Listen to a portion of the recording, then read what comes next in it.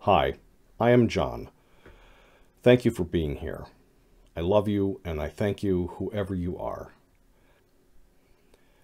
Anything that I teach or talk about in any recording is based off of my own experience, my lessons, and my revelations. Every soul is on its own journey to find truth, knowledge, understanding, and healing. I do not claim to know all truth. No one should. I just feel strongly compelled to share this series of teachings and messages. So anything I say that sounds definitive is my personal conviction an expression of what resonates within my soul. I am reminding you that you are on your own journey. Therefore, you should seek truth as an individual, not as one of the crowd. Don't ever cave under peer pressure when it comes to what you think or believe.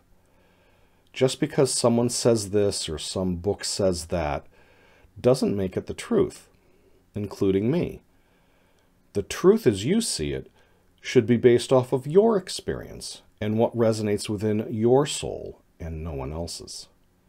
Just because others seem to think a certain person's views or interpretation on spiritual matters is wonderful, that doesn't mean you have to agree with them. Don't ever feel that way.